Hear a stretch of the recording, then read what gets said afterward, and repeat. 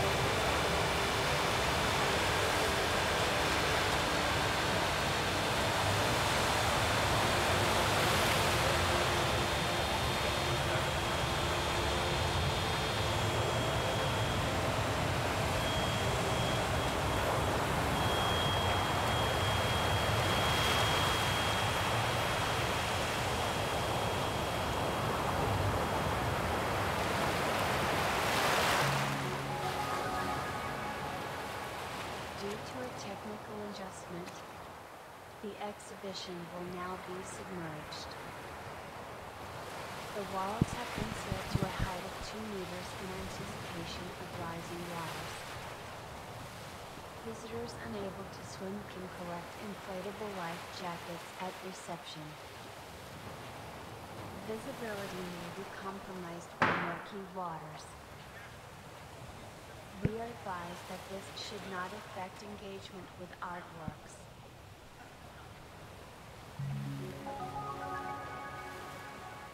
En raison d'un ajustement technique, l'exposition sera désormais submergée. Les murs ont été scellés à une hauteur de 2 mètres en prévision de la montée des eaux. Check, check, check, check, check, check, check, check, check. Les visiteurs et visiteuses qui ne savent pas nager peuvent récupérer des gilets de sauvetage gonflables à la réception. La visibilité peut être compromise en eau trouble. Cela ne devrait pas nuire à la rencontre avec les œuvres d'art.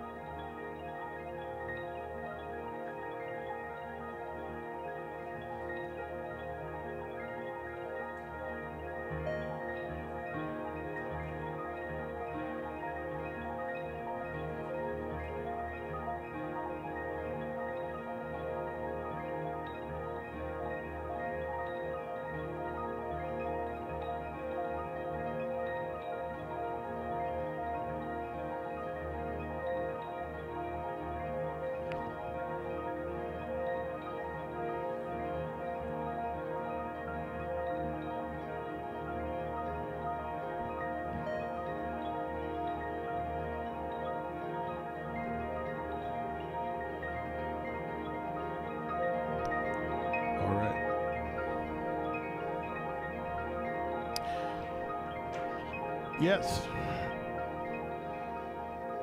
Uh, hello and welcome to the talk with Info Unlimited at Bring the Flowers to the Theater here at Saras Gallery. Uh, welcome. Hello. So we're just going to get started now. Um, I'm here today with a, I think everybody knows each other, uh, but I'm here today with a longtime friend, Reece Cox. Hi there. Um, Reece, where did you and I meet? That's a question I've asked myself many times, and I actually have no idea. Um, it very well could have been at a Savage Weekend, a long-running uh, festival in North Carolina, in Carrboro, North Carolina, um, that many friends have kind of made pilgrimages to over the years. Um, but uh, if not there, then maybe it's some some uh, small dark basement in Bushwick 10, 10 years ago. I think it was. Maybe at the hose actually. I think it was uh, the hose for sure. Maybe fitness. Um, Reece, I, I'm really glad you're here. Thank you for making the trek all the way from Berlin because before Happy you be were here. a Berliner, you were a stalwart of the East Coast, do-it-yourself, subcultural, uh, electronic music uh, contingent. Um, but you've always been more than just a musician, um, and really sort of emblematic of the kind of things that in this show I'm really interested in um, fostering and developing, which is the kind of person that makes work that sits somewhere in a music space, somewhere in a visual space, and um, allows their their practice to sort of flourish in that gray zone. Um, so it's it's it's excellent to have you here.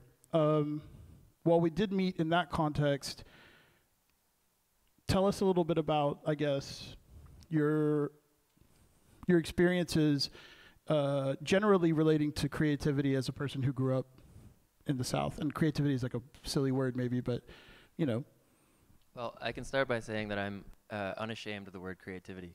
It seems like a lot of artists have. It seems like a lot of artists have maybe sort of a, a hang up, as it sounds sort of cheesy or or even you know uh, infantile or something. But I think you know, at least recently, I've uh, let go of any attempt of making like intellectually driven or smart work.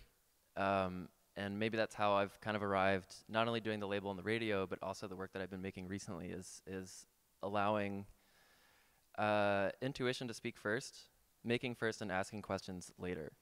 Um, and that's kind of how I've, in the kind of context in, whi- in which um, you and I met each other. I mean, my background has been in visual arts from a young age, um, and somewhere along the line, I started making music.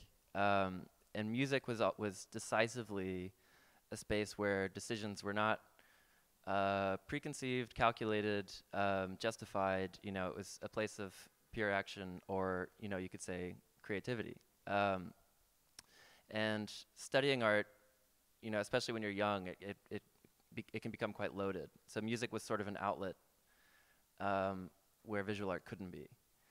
And but at a certain point, I mean, over over many years, and I mean, also you meant you talked about doing that in the South. Like there, I'm lucky. I didn't know much about it when I was younger, but over the years, I kind of came to learn that a lot of people were operating in this kind of mode in this in my home state of North Carolina. That there was this sort of scene or community, um, which I later became, you know, familiar with and close with a lot of the people in it, uh, that were operating very much in their own world and in their own context.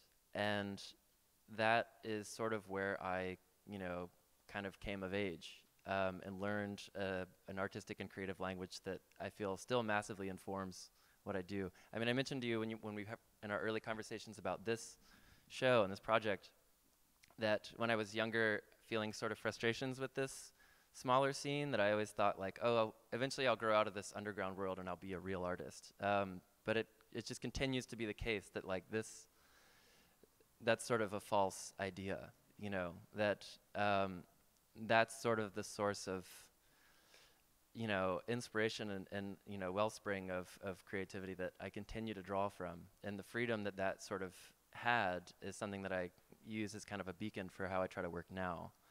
Um, at the same time, uh, you know, transitioning now, talking about sort of the label and the radio project.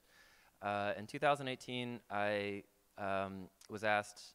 Uh, I was living in Berlin at this point, and I was asked by someone from Cashmere Radio to do a talk show, um, sort of an open invitation. What I ended up making was a show called Info Unlimited, uh, where I where I was speaking with artists who um, are very much working in sort of visual arts context and within that sort of history, but they're using sound as the primary medium. Um, um, and this to me was quite appealing because at this point I'd been making music for a long time, but as music became less of something that I did in a sort of like isolated community and it became more of a profession, I found myself feeling very out of place and frustrated.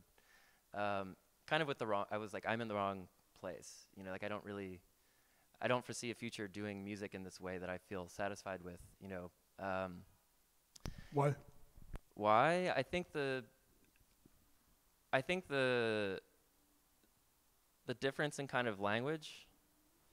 You know, I mean, this is something you and I have talked about for years now. Um, you know, going into the studio and making music, but ultimately coming at it with the background that is not explicitly music.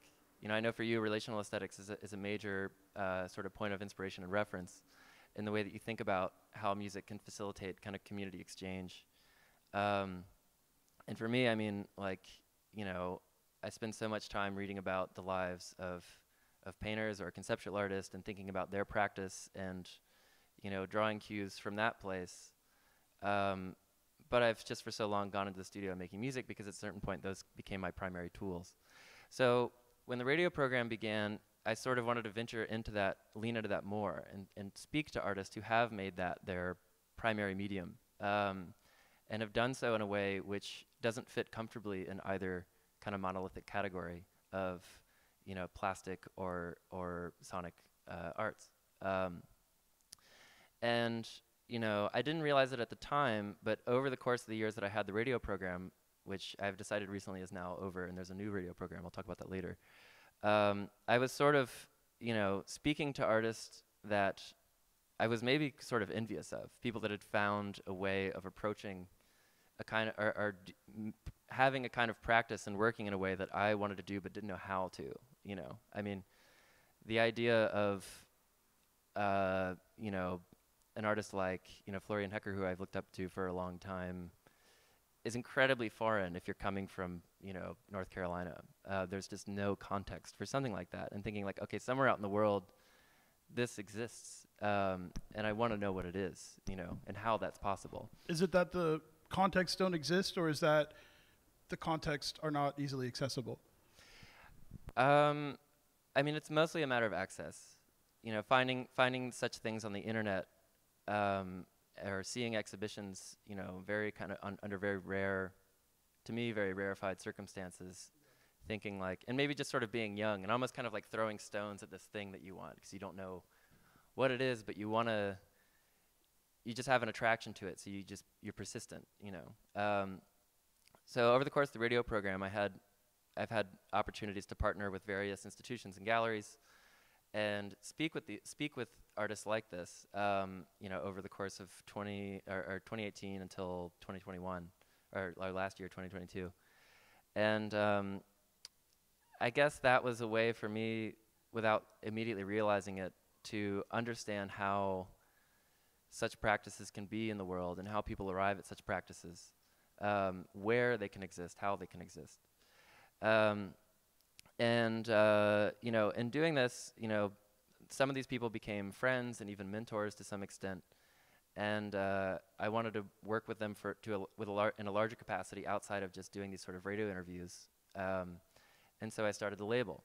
Um, and so far, the artists that I've released on the label are just two, with Kristin Oppenheim uh, and Niall Cotting with uh, Nozomu Matsumoto. And the next release will be with uh, Marina Rosenfeld. Um, all three are very different artists, um, but they all work with sound and doing exhibition, um, and all have uh, very very specific practices which have interestingly in their own in their in, in, in each of them have faced challenges of you know, Mari- Marina talks about this most bluntly of like really having to insist on making a place in the world for that work to exist.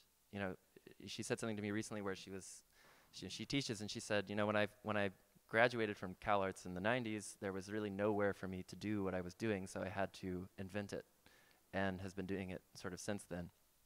Um, and uh, that, I guess that's sort of left me with an answer to this sort of question that I began with of like where do, where does this kind of work exist? Like where does such a practice exist?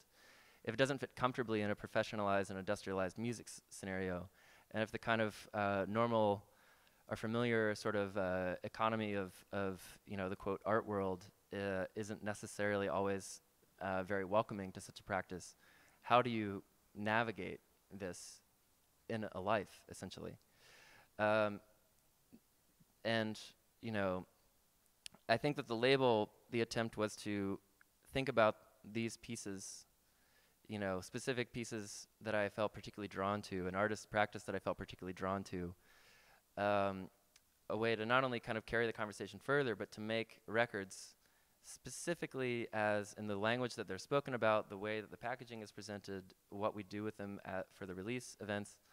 Uh, we do exhibitions instead of concerts or something like this um, to talk about them as catalogs for artworks in the way that you might have like a, a, a retrospective of a sculptor or painter and you might have like a, a museum catalog after the fact but these are records uh, that often come with, with writing or documentation of the works um, and you know in the case of Kristin Oppenheim the first which is the first release uh, we had an exhibition in Zurich of works which hadn't been exhibited together in that way you know in 30 some years and that was a process of the whole release took over took almost two years to get together because it was a matter of digitizing these tapes you know these tapes which had been purchased by museum collections in the 90s and almost no one had heard since then but feeling like this is work which feels quite contemporary and you know there should be an audience which has access to this work. Um, and it was a matter of a long time speaking to her galleries and kind of gaining their trust and getting permission to use these works. And she said something really interesting as we were first starting to, when we first met actually, which we met purely circumstantially, um, I met her and I was like, "Oh my God, you're Kristin Oppenheim! I'm such a big fan." And she was kind of startled, and she was like, "Who the hell are you? Like, what's what do you mean you're a big fan?" Um, and uh, you know, I met with her on the first meeting, and I was telling her, "Oh yeah, like there's this sort of small underground scene, and everybody like has a, a tape label, and like you can release music really easily." And she's like, "Oh, that sounds like so amazing! Like it's such, it's so boring when like." Little does she know. Yeah, she's like, it's so boring, you know, you know, when your music is just locked up in like MoMA collections. And I was like, oh yeah, like grass is definitely rough stuff. definitely greener on the other rough side. Stuff. But she ultimately had a point. I mean, she had made this work, which at a period of time, you know, the the powers that be in the art world in the '90s, you know, um, uh, really, she had a lot of really big shows at that time, and the work was collected. But because it doesn't have partially because it doesn't have a clear visual reference. Once it goes away, it really goes away. Once these tapes are in storage, Yeah. they're not. I mean, you know, they have little sound bites on UbuWeb, but that's that was kind of it up until recently. Sound has this uh, inherently revelatory, emancipatory capacity. It's accessible within the realms of your ability to hear, but but beyond that, even feel. And so there is this like s- strange duality that occurs, I guess, when is locked away. Yeah. What is the point? Mhm. Like at its cru- at the core of itself, you know, it's uh, at the crux of it. It's a bit difficult. Um, I want to go back though because we we're off to the we're off to the races here. Um, I wanted to talk to you about why a, why a label and why a physical media label. Since I've known you, uh, you have like a really stringent practice that sort of relates to me. Like you, you're a tactile individual. You used to build synths. I remember seeing sequencers that you made from kits. I've watched you paint in an extremely methodical manner. Um, and now these additions, they exist and they're numbered individually, etc. These are the additions that you see on the walls here. Yeah. Yeah. And I, I guess like why now taking these and doing it in this particular manner as opposed to um, having it free online in a library that you would create or something like that. You know, uh, I, I'm I'm curious. I, I I say this as someone who loves records very much. Yeah. So yeah. Yeah, well, I'll start off by saying that I didn't know it was such a pain in the ass to have a label, and if I knew that, I don't know if I would have done it. Um, Yeah. But I mean, you know, first addressing that question, I think, you know, when you, you going off to what I was saying, what what what Marina said about really kind of insisting for a place for your work or the kind of work you like to exist. This was sort of a way to do that. Thinking like, okay, well, this is work that deserves um, such a catalog. You know, these are pieces which I feel deserve um, this, you know, to be made in such an official manner um, and to be given very proper exhibitions and to be given, you know, and no one else is doing it. And I feel like anytime you you feel uh, passionately, and I'm not afraid of the word passion, just as not I'm, not afraid of the word creativity.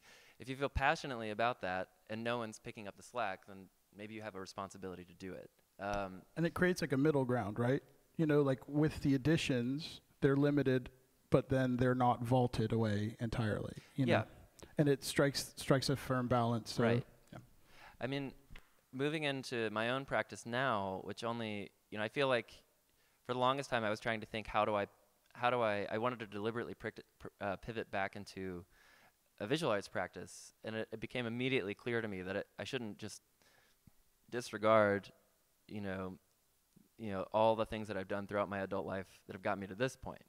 Um, like I said earlier, like I realized that it wasn't a matter of graduating from the underground sensibility and becoming like a, uh, you know, uh, fine artist or something. I, th- I thought, well, this is this has been the this is the life that I've lived, and this is the material that I have to work with. This is what I'm familiar with.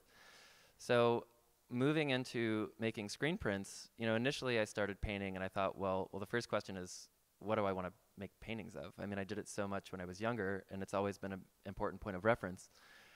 But what is the subject matter that I actually want to use? Um, and through kind of asking this and making a lot of bad paintings in the process, um, which will never see the light of day, um, I somehow landed on the project that I have now, um, where, and I can't, I can't, I can't give you the full origin story. It's been really kind of an intuitive process, and something that I learned from making music for so long was that a lot of the, a lot of my favorite work is stuff that I've made kind of on accident, and um, a lot of work that never went anywhere is something that was sort of overly conceived before it ever really got into production. And so I decided very deliberately when, when I decided, okay, I'm going to start making visual work again, but I'm going to take that sensibility that I learned in music and sort of make first and ask questions afterwards. This sort of generative kind of jamming thing, I think, also is something. And I hate to keep dragging you back to this place to where we met, um, and but it, there's this generative kind of jamming, uh, improvisational thing that I think you know is what occurs with the prints and the new stuff I've been seeing. But also when I used to see you play, the structures by which you did the work within these limited sequencers, the way that it was Yeah. utilized, the I mean, I- utility, I, yeah. I very much believe in, or maybe not even believe in. I, I think I just gravitate naturally towards a way of work, and really larger, in a larger sense, like a way of living that uh, does operate within the confines of you know strictures.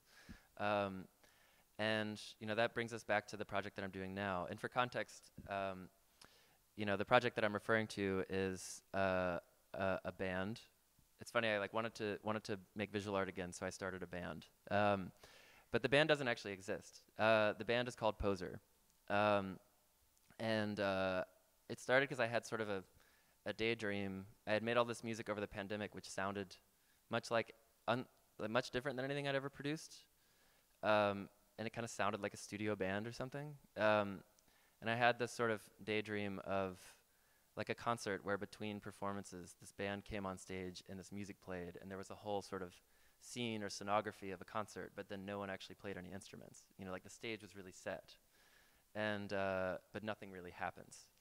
That it really was a band that produced an image of a band above all else. And i it sort of when i when that occurred to me i thought oh my gosh that's that's such a great way to approach this. You know again with this prob- problem of subject matter when wanting to move back into like a visual way of working. Um, you know, when I was really young and I start and I was painting, I would, you know, as a teenager, take photographs of my friends, and from those sort of like photo sessions, would then make artwork out of that. And then suddenly, I kind of found an answer. I ha- it's like, okay, well, I can make this fake band, and the driving kind of conceptual framework is that it is a band that first and foremost produces images above music. That the music is kind of a vehicle to facilitate performances, which then produce visual media, which then get rendered into artworks. What I like there too is that, to my understanding thus far, is that you're negotiating this really good place between like uh, setting the parameters with the compositions you make, the recordings you make beforehand, but then also being able to relinquish a level of control to allow Yeah. the performers to. create. and so then you're you're in this dialogue between them, yourself, and then that really speaks to the do, and then assess after. You know, uh, I like that a lot. Yeah, It's also difficult for me to surrender that amount of control. Um, for example, tomorrow there's the second poser performance here at 7:30, and um, I uh, Everybody should come. um, and I only know one of the people that's actually going to be in the band tomorrow. The band always has different members, and they're always actors. Um, and uh, you know, like in the first performance, for example, they had guitars that weren't plugged in. You know, they had the kind of like necessary accoutrements, just enough to kind of make a gestalt of a concert. Um, but then all the other uh, elements are kind of hollowed out. Um, and I sort of thought, okay, well, these very familiar forms, which exist not only presently but historically, are something that can be played with and manipulated easily because they're so familiar. Um, and interestingly, a lot of people have said, like, wow, it seems like you're really making a, uh, a critique of music. And if I am, it's, it's, it's pure happenstance. You know, again, this has been approached like intuitively. So, the people that you're calling from your first performance of this work and then into this one, uh, I would say that in my experience, music, even on a global, you know, sort of zoomed out lens, the participants are often very, the degrees of separation are rather close. The people that are you utilize for the performances, typically not people who engender themselves as music, per, you know, music scene participants per se. Yeah, and that's sort of a decisive. That that that that was a decision kind of from the beginning, and even coming to this perfor- like approaching this performance. I mean, I'm lucky to have a lot of friends in New York, but I I needed people who had very specific qualities to. Sor- Some anonymity in there as well, right? it helps, yeah. Um, you know, like there was a, a long list of people I thought of who I thought could do a good job, but they're already too close to the thing that's being referenced. Present. You know, um, and so it was a little too easy and too close. Um, you know, you know, two two two of the people that are in the band tomorrow, like I've never met in person, and that like terrifies me. But it also feels kind of liberating. You know, That's great. yeah. That's great. So we've covered a bunch of ground now in the beginning. Does anybody have any questions from the start, or we could save them for later? Why don't we introduce? Why don't we do now the listen some listening? Okay. Now Yeah, that we've created good. groundwork, or is there anything else that we should cover? We can keep this going back and forth. I, I'd love talking to you. So Yeah, yeah, yeah. I mean, no, I think maybe listening is good. I can talk a bit about um. where where should we start? You want to do an introduction? Yeah, I can do some introductions here. Beautiful. Um, so, well, going back to the, you know the radio program, um, I I was really lucky from the beginning that this is sort of a weird thing to say, but the the the, the pandemic started shortly after I started the radio program, and that meant that a number of you know museums and galleries all over the world shut their doors, and, and they were all of a sudden really interested in radio.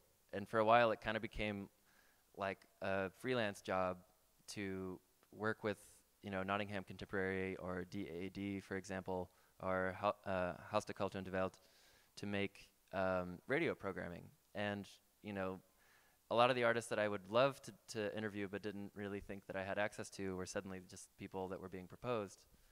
Um, and uh, that sort of meant very quickly being like, okay, well, this project, this is a project that I should take much more seriously. And one of the early peop- people early on was um, a New York-based artist Marina Rosenfeld, who I referenced earlier, and um, we have um, we've been working. She was actually the first artist I approached like three or four years ago, and the record just yesterday was finalized. So it was a lot of back and forth, and what it's come together in like in a really amazing way. And the piece is one that I'm so excited to be working with, and it's again one of these things that I'm like, I can't believe nobody's making this record because it's so incredible. Um, This is how the label was supposed to start, right? But Yeah, then with- with hers. Right. and I it mean, just she's got rearranged. she's you know Kristin didn't have so much going on, so sh- she so we worked together really closely, almost on a daily basis for a long time. Whereas Marina's very busy, so we would put it down for months and then pick it back up, and that's why it took so long. Um, but um, the the record is a project uh, called Greatest Hits, um, and it's been performed a few times. Uh, the first iteration was in the Rotunda at the Guggenheim, uh, where she uh, was uh, performing with Greg Fox, uh, the percussionist. And how this project came about, she had done, and she's worked for years, I mean, for decades at this point, with with dub plates as like a really central fixture in her practice as a modes of, of, of sampling and resampling material and keeping it in this in the in the sort of strictures of this particular medium. Um, and she had had an exhibition, I think, in 2014 or 15, where the dub plates themselves that she'd been using for years would be on view. And you know, typical of kind of Marina's approach, she didn't just want to exhibit them, but she had she worked with um, someone else to produce uh, a SuperCollider script, which which would generate instructions as to which piece should be which which dub plate should be taken off the wall and played by uh, a gallery attendant over the course of the exhibition. And then after this exhibition, there was a sort of long piece of information which she then used as a score and worked with initially with Greg Fox to to interpret like how do we produce rules to read what are basically these instructions. We're going to decide that these are instructions. Um, and then this piece continued to develop, and the record that we have now finished um, is an iteration that was performed at PS1 with uh, Greg Fox and also the percussionist Eli Keszler. Um, and I'm going to play you the first track off the record. And it's not just a recording of the, the concert itself. You know, Marina then took the recordings and, and worked with them further to make something that's you know specific to this release.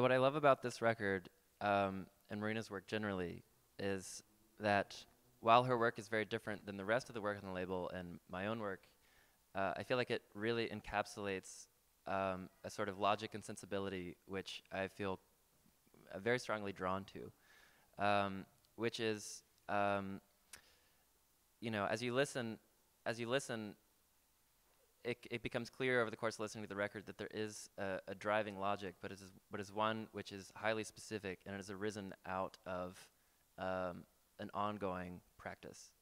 Um, that, you know, it's yes, yes, yes, it's sort of music, but it comes out of something very specific and very particular, and is and is sort of decisively unique to the way that Marina has decided to work over a very long period of time. Uh, I'm taken by the kind of uh,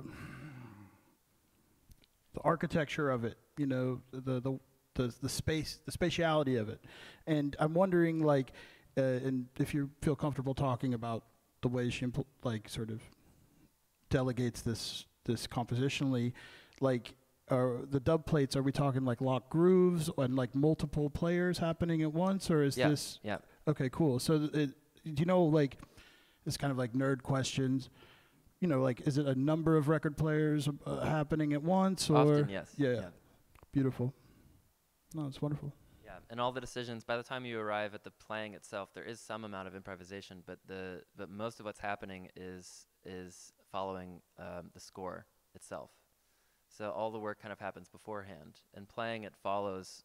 Uh, on the one hand, very strict rules, but rules which have been decided um, by Marina and by Greg and Eli before the actual performance, and they're sort of adhering to that logic uh, as they carry out the performance. I love the the synth, like the dub, kind of like. Yeah, yeah. I love I love this kind of sonic palette that Marina has in all of her work. It's fantastic. Um, do you want to play another selection from there, or Uh, that's the only one that I have prepared. I didn't want to play too much because the record isn't out yet. It will be out in a few months. Right. Um, so that's a sneak peek. Um, So, immediacy. You've had to really sit with the. So again, like going back now, like the, the process of doing the label is kind of a little bit different than do and then assess because the do is like stretched like taffy over this long, long process.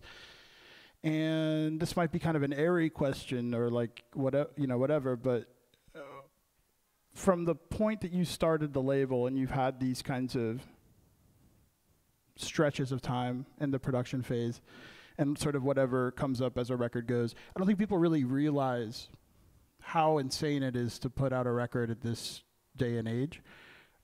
Has has your approach morphed at all or has your relationship to the recordings morphed at all? Like I'm just kind of curious like what's what how you've grown in the midst of that like you know marked time frame that the production has you know occurred. Well, I think the the the challenge that I've grown to appreciate is um, what it sort of takes to continue to take something seriously. Um, and you know, I'll step back a bit to to talk about what I mean. I many many years ago, I spent a summer um, as a studio assistant for Matthew Barney, and uh, I think I worked there for like two or three months. And you know, the studio is enormous, and uh, there's many people working there, and you know, he was there every day, kind of overseeing everything, and it was. I was just I had never seen at that point in my life such uh, really kind of unbelievable for me at the time commitment to an idea. You know, I spent months working on one part of one mold for one sculpture um, with an entire team, and you know the days were very long, and it was everything was done with such surgical precision, and I I thought like you know I've been making at that point I had been making art and making music for a long time, but I had just never I had never sort of seen someone take their practice to such an extreme and do so and, and everything you know the ideas the idea had already been sort of uh, thought out everything had already been done you know the sketches had been made the planning and everything and now it was time for execution and that was my job. Um, but the the lengths that were gone to to produce this one piece that I was just one part of of the process in a very long process uh, something that really stuck with me so when when approaching these records, you know, and it's just me, and I, I get excited about a project. You know, in the case of Marina, I get excited about a project, and you know, at a certain point, that enthusiasm wears out, but you've already started, and you realize like, oh my God, this is going to be really time-consuming and expensive and complicated, and do I even have time for this? And you think you have to kind of continue to decide. Um, yes, I am going to keep doing this because I want this to exist in the world. Um, and I think that maybe that answers your question. I mean, it, it's sort of a, a practice of continuing to wake up and decide that this is important and that you're going to continue to put time into it. Especially when you're working, I mean, it's one thing to do it for your own work, and then it's another. I guess this is a bit of a difference between like being an artist or a curator or, or a label owner or whatever. Um, to do it for your own work, it takes one kind of commitment and one kind of sort of confidence, but to do it for someone else's work takes something slightly different. Um, and I think, you know, it makes me excited when there's an artist whose work I feel really uh, compelled by um, to write to them, you know, and I do all the kind of graphic design for the for the artwork for, for the for the artwork for the label and everything, and you know, I get really excited when I email them with good news, you know, because I want them to feel that there is I want I want them to know that their work as is as important to me as as it is, you know.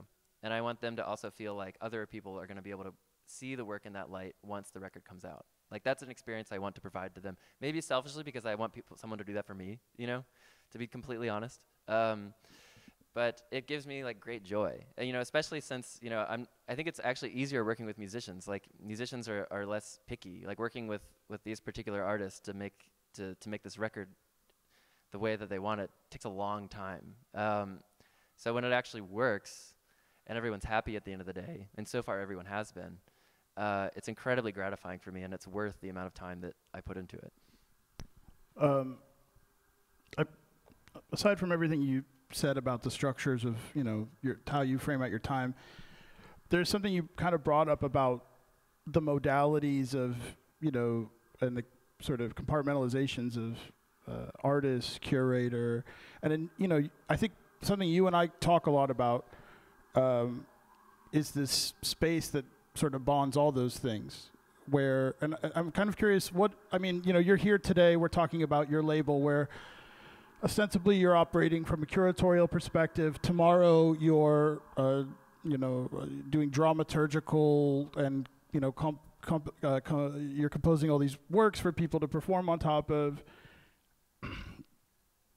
Do you see that there's any sort of necessity at this point in history for a differential in those modalities of composer or you know sound artist or yeah. uh, you know curator radio you know, man you know it's right. is, is it is it valid at this point that's kind of one of the overarching questions of the show that i'm trying to yeah i mean i think that's kind of the that's the forever question right i mean and that's also been like a big part of our kind of like creative relationship and friendship is having a kind of you know, our own respective but ultimately mutual interest in that question.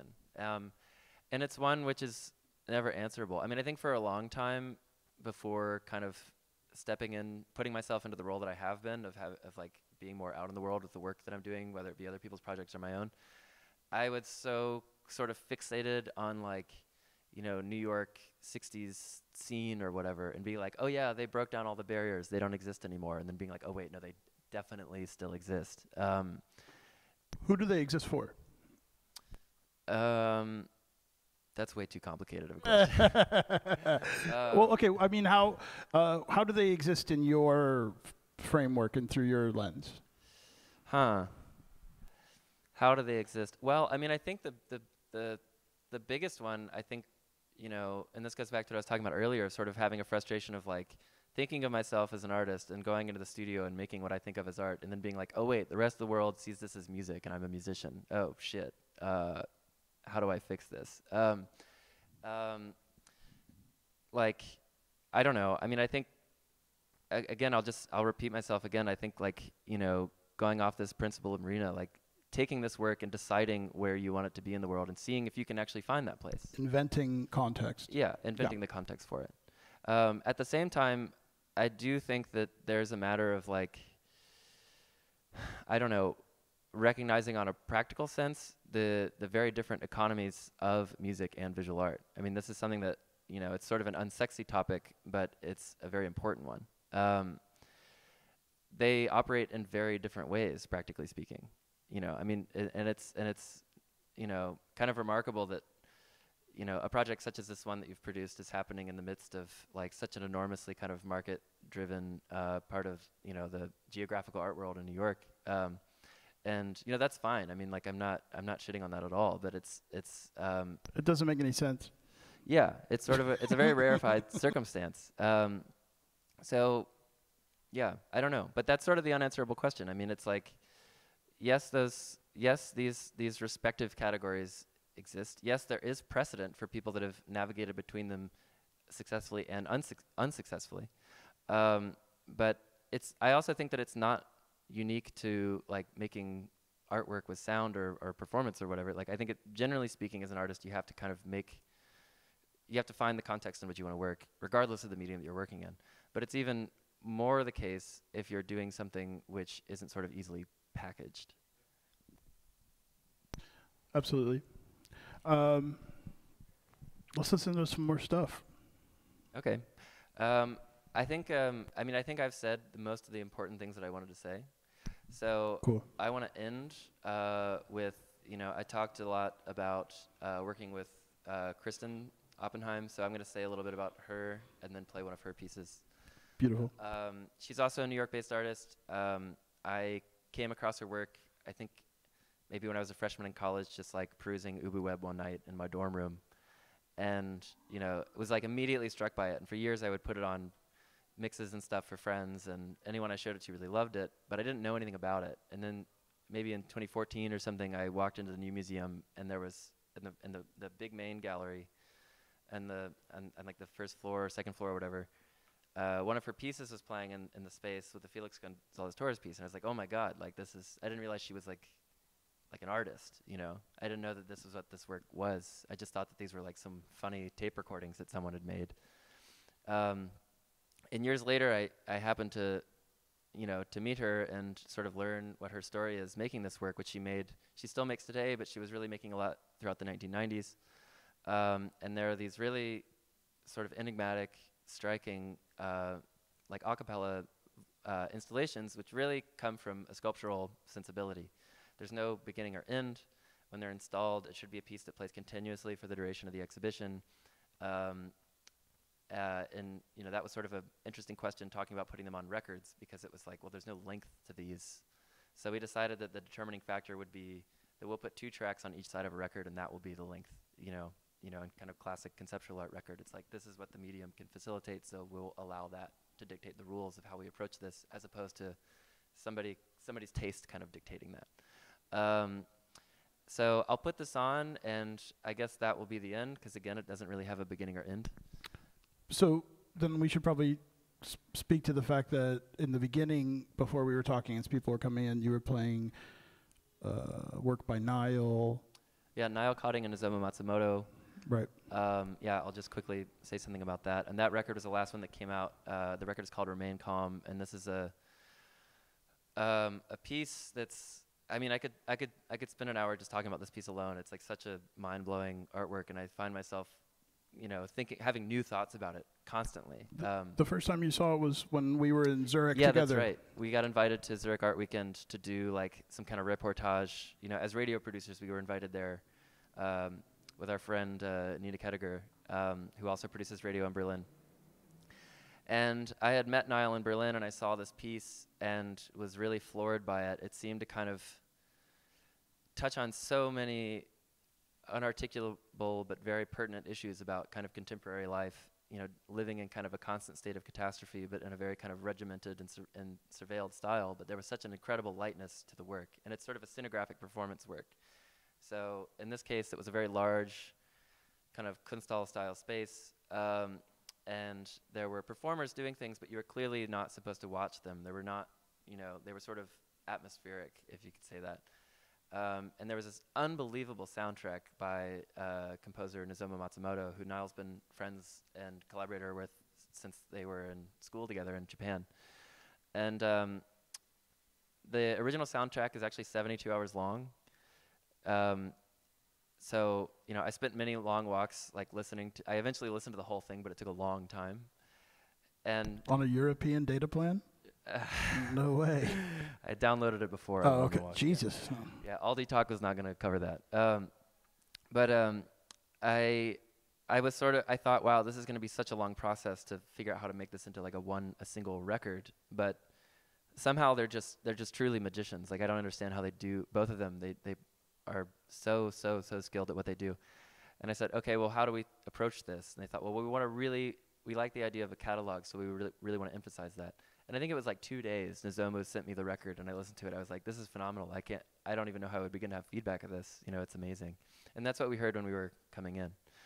Um, and you know, I would speak more about that for the sake of time. Actually, Boomkat wrote like a really phenomenal review that I felt like really hit the nail on the head. So if you want to learn more about it, I recommend going. We'll going there. post it. We'll post it in the We'll post it. in yeah the links. um, yeah, they really got it and articulated it better than I mean. I had interviewed Nile and we had talked about it extensively, but whoever the writer was on that one like articulated it better than I ever actually could. Um, but anyways, going back to Kristin, yeah, I mean they're they're beautiful works. Um, I know Kristin will be here tomorrow, so you can meet her if you want to. Um, and yeah, she she shows at 303 in New York. She had a show up this summer of of uh, work that's sort of a similar nature to this. Um, so I'll play this. This is a work that I believe, if I'm not mistaken, is from 1993, um, called "She Was Long Gone," and uh, yeah, we'll leave it with this. Thank you all for coming. I appreciate it. You're all welcome throughout the month to come and participate as you'd will. And thanks. Thanks, Reece. Thank you all for coming.